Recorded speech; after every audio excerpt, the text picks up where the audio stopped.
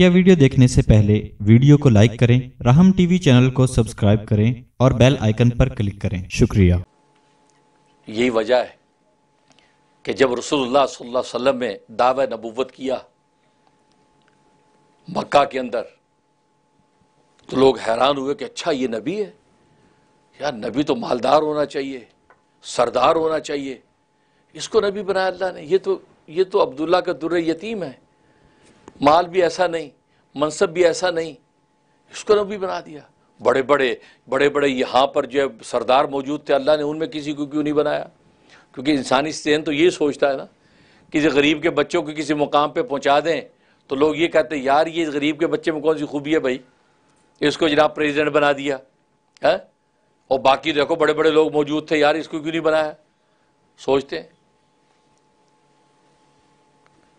तो लोगों की ये हैरानी हुई कि यार इनको नबी बना दिया।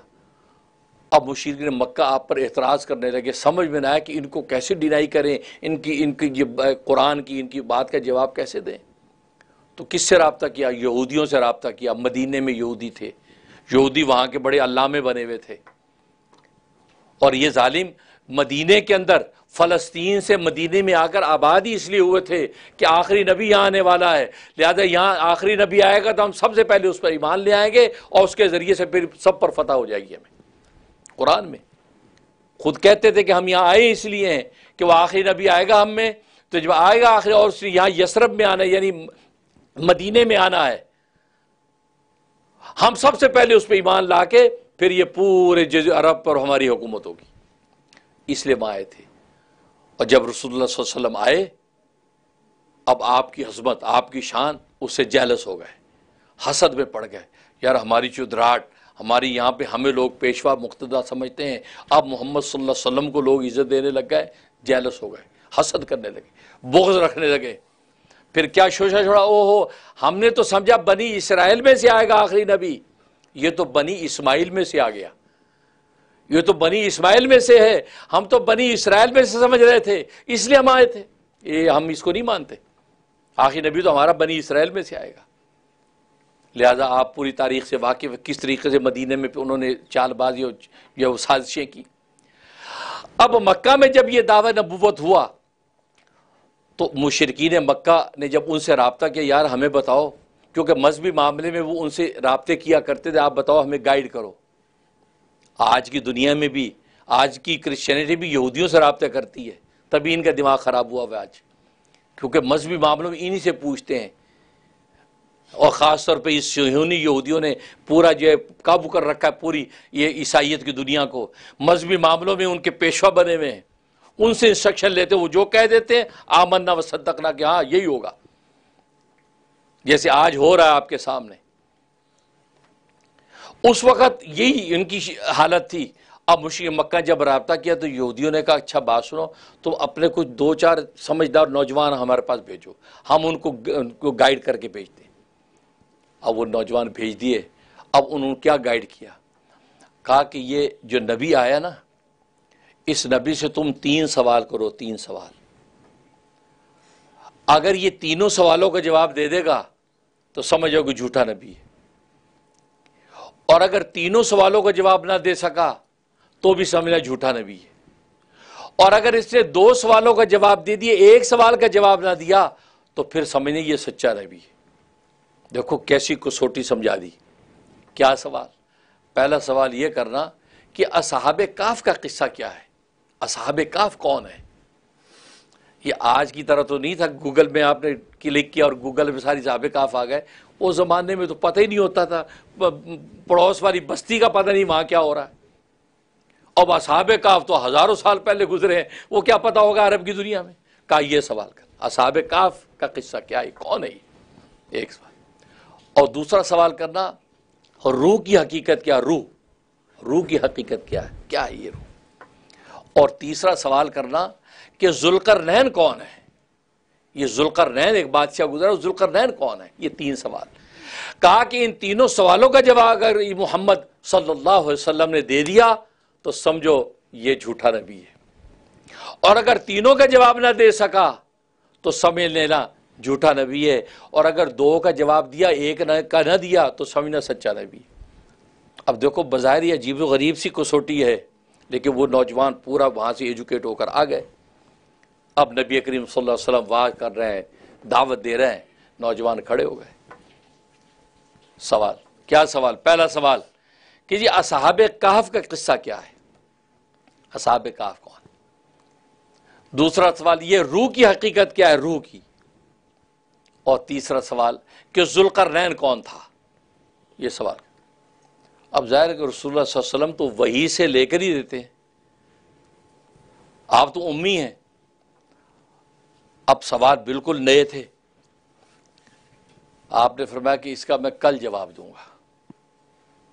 आपके जहन में था कि जिबर फरिश्ता आके मुझे जवाब बता देगा तो मैं जवाब दे दूँ।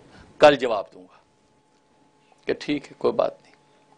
टाइम दे देते हैं आपको। मस्जिद बर्खास्त हो गई। और कल जिब्राइल आए नहीं। जवाब ही नहीं बताए एक दिन गुजर गया। अब लोग इकट्ठे हो गए। जी, वो जवाब क्या हुआ? आप फरमाया कि नहीं, अभी नहीं, कल। अच्छा। दूसरा दिन।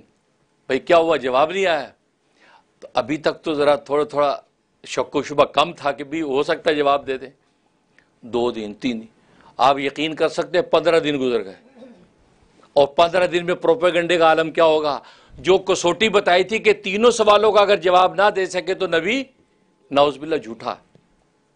अब तो बात फैल गई। कहा, देखा, ये एक सवाल का जवाब नहीं दे। कहते, कल कल कल कल, और कल टुमारो इज़ नेवर कम आज लोग कहते, कल तो आती नहीं तो ये पंद्रह दिन हो गए जवाब नहीं दिया, इसका मतलब नबी झूठा है। अब आप सोच सकते हैं कि रसूल पर परेशानी की परेशानी की कैफियत का आलम क्या होगा? कि जो सच्चा नबी है और ये जवाब नहीं दे पा रहा है और प्रोपेगंडा आपके खिलाफ मनफी पैदा हो रहा है तो आपकी अजियत का आलम क्या होगा, इस पर सोचें। आज हमें कोई पूछ ले, है? और हम जवाब ना दे पाए तो हम कितने दिन शर्मिंदा रहते कि यार, ये क्या हो गया, मसला जवाब नहीं आया मुझे। अब पंद्रह दिन तक वही बंद पंद्रह दिन के बाद अल्लाह तबारक वाली सूर काफ नाजिल कर दी सूर काफ के अंदर सारे सवालों का जवाब मौजूद है। सूर काफ नाजिल हुई। अब सूर काफ नाजिल हुई तो अब आपने जो है वहाँ पर सूर काफ तिलावत की, जिसके अंदर पहले असाब काफ का ज़िक्र कि असाब काफ कौन? फिर उसमें जुल्कर रहन बादशाह की तफसील जुल्कर रहन बादशाह कौन? और रूह के बारे में कोई जवाब? या साली रूह, कि रूह के बारे में तुझसे सवाल करते हैं। कुल मिन अमरी रब्बी कह दो कि ये अमर रब्बी है और कुछ भी इसकी को, उसका कोई जवाब नहीं दिया। तो कसौटी जो उनकी सच की कसौटी थी पूरी हो गई। अब ये अब ये तीनों जब जवाब दिए कि दो का जवाब दे दिए एक के बारे में कहा कि बस अमर रब्बी दैसित इसकी हकीकत क्या है? कोई कोई ज़िक्र नहीं। तो सिद्को सफ़ा की कसौटी पूरी हो गई। लेकिन अल्लाह तबारक व ने आपको उसमें यह तंबी फरमा दी क्या मोहम्मद अगर जब तू ये कहे कि कल मैं करूँगा तो साथ इंशाला कहा कर, तूने इंशाला नहीं कहा था, इसलिए वही बंद हो गई थी। कि अगर तेरा इरादा हो कि मैं ये कह, मैं कल ये काम करूँगा तो इंशाला बोलना था, और तूने चूँकि इंशाला नहीं बोला, इस वजह से वही बंद हो गई। कि नबी की तरबियत हो रही है आपको तंबी कर दी, कि तेरा तेरा मुकाम तो यह है कि हर वक्त हुजूरी के मुकाम में है, तेरे हर कलाम में अल्लाह का नाम पहले हो, अल्लाह की मशी इरादे का ज़िक्र पहले हो। बगैर इंशाला के कैसे कह दिया? और मकसद क्या था? इधर इधर ये प्रोपेगंडा होने के नतीजे में आपको पता है, नेगेटिव नेगेटिव बार बार हो तो पॉजिटिव हो जाता है। ये तो साइंस का भी उसूल है, नेगेटिव नेगेटिव, नतीजा पॉजिटिव। तो ये नेगेटिविटी इतनी बड़ी पंद्रह दिन के अंदर, इतनी बड़ी कि जनाब वो क्या हुआ? अब जैसे जवाब दिया तो बच्चे बच्चे के कान तक चूँकि, ये नेगेटिविटी पहुँच चुकी थी। जब जवाब दे दिया तो वो एकदम पॉजिटिव बन के आया और अल्लाह तबारक वता ने किस्मत वालों को ईमान नसीब फरमा दिया और आज भी देखो, इस्लाम के बारे में कितनी नेगेटिविटी फैलती है और पिछले वक्तों में कितनी फैलती रही। देखो नेगेटिव नेगेटिव पॉजिटिव होता चला गया। आपने देखा, लाखों लोग मुसलमान भी हुए। और अभी भी जो मौजूदा जो जंगो जिदाल चल रहा है फ़लस्तीन की सरजमीन पे उस वक़्त में भी लोग मुताले कर रहे हैं, स्टडियाँ कर रहे हैं कि यार ये दुश्मन की फौज के फौजी काँप रहे हैं? मौत से डर रहे हैं। और यहाँ फ़लस्तीन का छोटा मासूम बच्चा कलमा पढ़ के खुदा को जान पेश कर रहा है। यार ये किस मिट्टी के बने हुए हैं? ये कौन सा ईमानी तस्वुर है कि यार इन पर खौफ इराज का नाम ही नहीं? माए अपनी छातियों से लगाए हुए बच्चे दूध पिलाने वाले, उनकी लाशें दफना के फख्र महसूस कर रही हैं और कह दे अल्लाह तेरे स्पुर्द अपनी अमानत करती ये क्या लोग हैं? ये सोच के लोगों ने कुरान का और इसको मुताला शुरू कर दिया इस्लाम का और कितनी बड़ी रिपोर्टें आ रही कितने लोग मुसलमान हो गए। क्योंकि इस्लाम अल्लाह ने अपने अंदाज से फैलाना है और इन्हीं की प्रोपेगंडे से अल्लाह ने इस्लाम को वहाँ वहाँ पहुँचा दिया है कि आज दुनिया के हर खत्े का इंसान मुसलमान को जानता है। क्योंकि नेगेटिव प्रोपेगंडा इतना किया कि हर बंदा सोचने लगा, यार, ये कौन से जालिम किस्म के लोग दुनिया में आ गए वो स्टडी क्या भी की कर यार, ये कुरान सुबह अल्लाह यार, ये पैगंबर सुबह ये तो रहमतुल्लामी लोग मुसलमान होने लगे। तो जब ये प्रोपेगंडा तो आपने जवाब दिया और कहा कि इनशाला कहो। इनशाला कहो। और आज, देखो, उसमें तो इनशाला का हुक्म है कि उसको पुख्ता कर रहे हैं, अल्लाह की मशीयत के साथ जोड़ रहे हैं। हैं? और आज हमने इनशाला को धोखे के लिए। यानी वादा पूरा नहीं करना तो इनशाला लगा दिया। ये करते ना यार आप कल आइएगा। हाँ इनशाला इनशाला नहीं आने का इरादा है ना? यार कल अपना कर्जा, यार कल कर्जा दे देना। इनशाला कल आपको दे दूँगा यार, आ जाना। इनशाला इसलिए लगाते हैं हम कि देना मेरा कुछ नहीं है। नहीं। आप अल्लाह तबारक वाली की मशीत का गलत इस्तेमाल कर रहे हैं।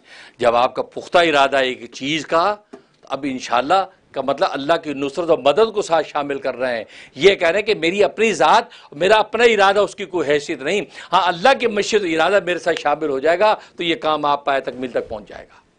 ये मकसद था।